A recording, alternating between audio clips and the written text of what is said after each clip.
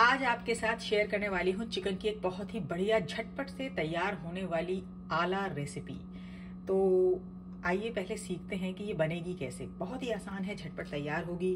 तो यहाँ पर सबसे पहले मैं ले रही हूँ ये ऑयल ये ऑयल मैं बना के रखती हूँ। ये है अनियन ऑयल जब अनियन फ्राई की जाती है और निकाल ली जाती है तो जो ऑयल होता है वो फ्रेग्रेंट हो जाता है, उसमें खुशबू आने लगती है प्याज की।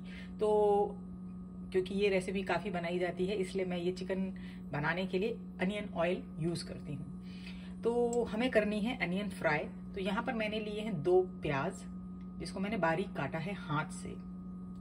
तो इसको हमें करना है फ्राई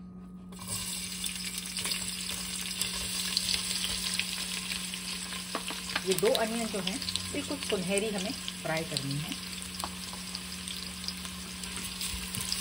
तो इस ऑयल में मैं इसको गोल्डन फ्राई कर लूँगी चिकन जो है, आप चाहें तो रिफाइंड ऑयल यूज़ करें, बहुत सारे लोग देसी घी यूज़ करना चाहते हैं तो वो भी कर सकते हैं। सरसों का तेल सबसे बढ़िया रहेगा। अगर आप यूज़ करते हैं तो फ्लेवर और ज़्यादा बढ़ जाता है सरसों का तेल यूज़ करने से। तो यहाँ पर इस प्याज को सुनहरा होने तक भूनेंगे इसको बिल्कुल जलने मत दीजिएगा। डार्क ब्राउन भी नहीं होने देना है।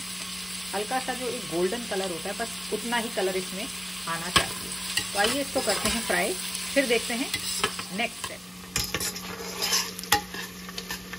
प्याज धीरे धीरे अब नरम पड़ रहा है। बहुत सारी डिशेस में हम ये नरम प्याज भी यूज़ करते हैं। यहाँ पे थोड़ा सा इसको हल्का गोल्डन फ्राई कर रहे हैं और फिर इसको निकाल लेंगे। अब इस अनियन ऑयल में जब ये अनियन और फ्राई हो रही हैं तो इसका जो फ्लेवर है और बढ़ जाएगा ऑयल का। और जो खुशबू आ रही है, बहुत ही बढ़िया।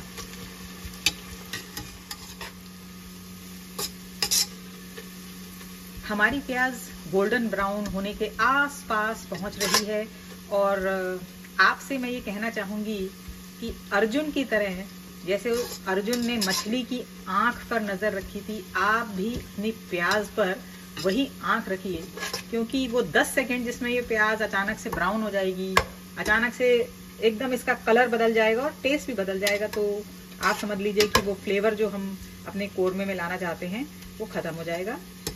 और यहाँ पर जो फ्लेम है, वो मैंने मीडियम की हुई है और लगातार मैं इसे चला रही हूँ और देख रही हूँ। देखना बहुत ज़रूरी है, क्योंकि अक्सर हम प्याज जब भूनते हैं तो उसको भुनता हुआ छोड़ के इधर उधर ध्यान चला जाता है। वो बिल्कुल नहीं करना है। इस प्याज को आपको एकदम माइल्ड गोल्डन कलर तक लेके आना है और इसको देखते रहना है। क्योंकि बहुत बार ऐसा हुआ है कि जैसे ही नज़र हटाई, उतनी देर में ही प्याज काली पड़ गई ओवर ब्राउन हो गई और देन वो हमें चाहिए नहीं। तो मैं यहाँ लगातार देख रही हूँ और इसे चला रही हूँ। आई थिंक एक मिनट या कुछ ज़्यादा सेकेंड्स थोड़े इसमें और लगेंगे and then it will be fried जो हमें चाहिए। This is the right colour कोरमे के लिए। बिल्कुल ठीक कलर है ये।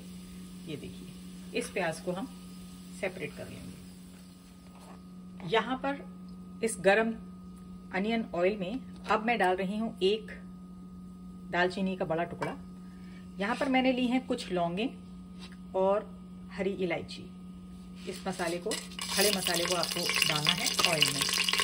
और इसको हल्का सा ज़्यादा नहीं। इसको 10 सेकंड के लिए गरम तेल में फ्राई कर लीजिए। इलायची को। आ, मोटी इलायची मैं नहीं डालती हूँ क्योंकि मोटी इलायची डालने से जो फ्लेवर है वो बहुत इंटेंस हो जाता है। तो इसीलिए सिर्फ़ छोटी इलायची मैंने यहाँ पर इसमें डाली है। और अब इसमें डालने जा रहे हैं चिकन यहाँ पर मैं चिकन लेग्स ले रही हूँ। तो ये चिकन जो है, अब इस गरम तेल में हम डालेंगे।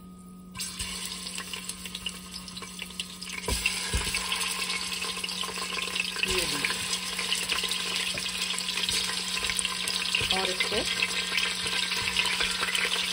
भूनेंगे यहाँ पर मैंने डेढ़ किलो चिकन लेग्स लिए हैं। अब इनको हम फ्राई करते हैं।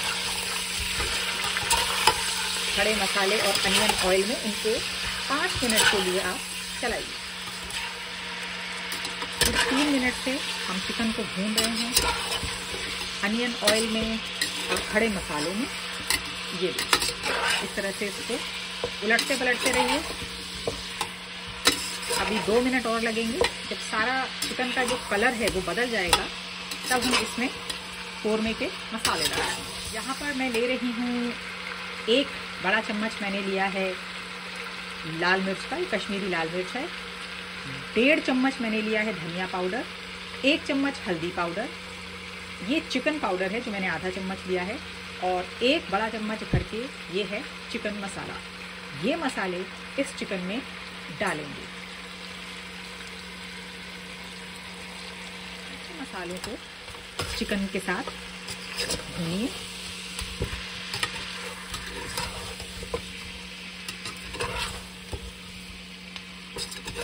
और आँच को बिल्कुल आप मीडियम से सिम कर लीजिए। मीडियम से सिम कर लीजिए। बिल्कुल इसको धीरे कर लीजिए। और इसको मसालों को ऑयल के साथ, और जो चिकन ने भी अपना ऑयल छोड़ा है, पानी छोड़ा है, उसके साथ थोड़ा सा आपको भूनना है। इस तरीके से, ये देखिए। मैंने यहाँ पे चिकन लेग्स लिया है। आप चाहें तो चिकन ब्रेस्ट ले सकते हैं फुल चिकन ले सकते हैं। कुछ स्पेशल आपको चिकन के पीस के साथ बनाना है, आप वो भी कर सकते हैं। तो यहाँ पर मसाले के साथ चिकन को दो मिनट के लिए आप ढक के रखिए और उसको भूनने भूनने दीजिए। इसके बाद इसमें हम डालेंगे नेक्स्ट इंग्रेडिएंट इसको सिर्फ़ ढक दीजिए। मुर्ग यहाँ पे भून चुका है मसालों के साथ। आइए इसमें डालते हैं हम एक कप दही। ये दही है 300 ग्राम के करीब और एक कप। ये दही ज़्यादा खट्टा नहीं है। ठीक ठीक है, क्योंकि यही एक मेन इंग्रेडिएंट है। तो इसलिए दही बहुत ज़्यादा खट्टा नहीं होना चाहिए। इसमें मैं डाल रही हूँ नमक। नॉनवेज है तो नमक थोड़ा तेज रख, रखें तो अच्छा रहेगा। बाकी आप अपने स्वाद के अनुसार इसको डाल सकते हैं। दही डाल के कीजिए मुर्गे की भुनाई। अच्छी तरह से इसको भूनिए। ऊपर से नीचे चलाइए। थोड़ा ध्यान रखिए कि कहीं चिकन नीचे से लगे ना। बस यही आपको ध्यान रखना है। बाकी जैसे ही दही का पानी निकलेगा, ये अपने आप भुनता रहेगा। तो यहाँ पर दही भी मिक्स हो गई है। मसाले भी मिक्स हो रहे हैं। और अब इसको ढक कर मैं 10 मिनट के लिए छोड़ूँगी और फिर इसको चेक करेंगे। तो इसको अब हम 10 मिनट के लिए ढक देते हैं। लेकिन बीच बीच में आप देखते रहिए, उस आँच जो है आपकी, जो गैस की फ्लेम है, उसको एकदम मीडियम से भी थोड़ा कम ही रखिए। ये देखिए, प्याज जो हमने गोल्डन फ्राई किया था, ये देखिए, ये ठंडा हो चुका है। और ये देखिए इसका क्रिस्प एंड क्रंच बिल्कुल ऐसा ही प्याज आप करेंगे, ये देखिए ये देखिए। अब आप इस प्याज को हाथों से क्रश कर लीजिए इस तरह से।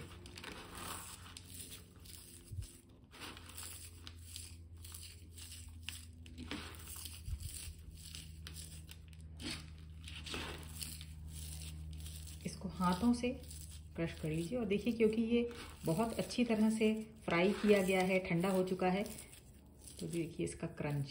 और यही हमें अपने चिकन कोरमे के लिए चाहिए। तो आप भी ऐसे प्याज को हाथों से इसको क्रश कर लीजिए।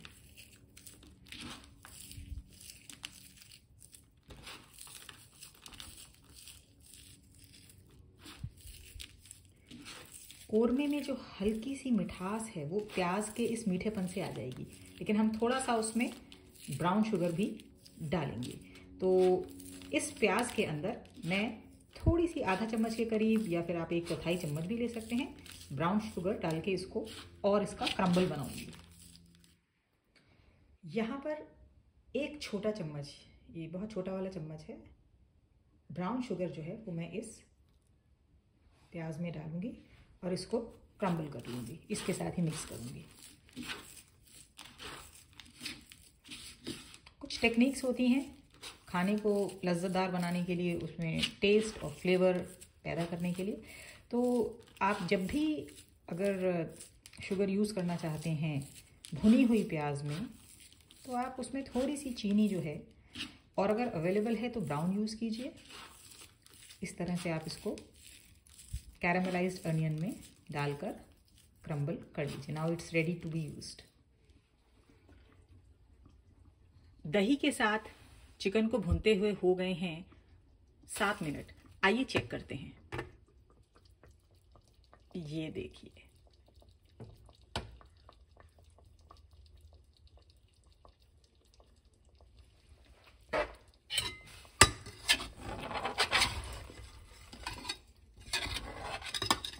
यहाँ पर मैंने फ्लेम को मीडियम रखा हुआ है और आप देख सकते हैं, चिकन का पानी, दही का पानी, ये ऊपर आ रहा है। इसका मतलब कि मुर्ग जो है, अच्छी तरह से भुन चुका है।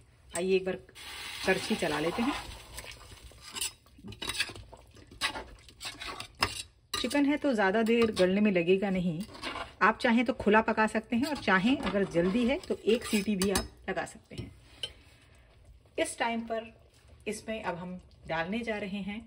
ये भुनी हुई कैरामलाइज्ड प्याज, जिसमें हमने थोड़ी सी ब्राउन शुगर भी डाली थी और क्रश किया था। ये इसमें डाल दीजिए।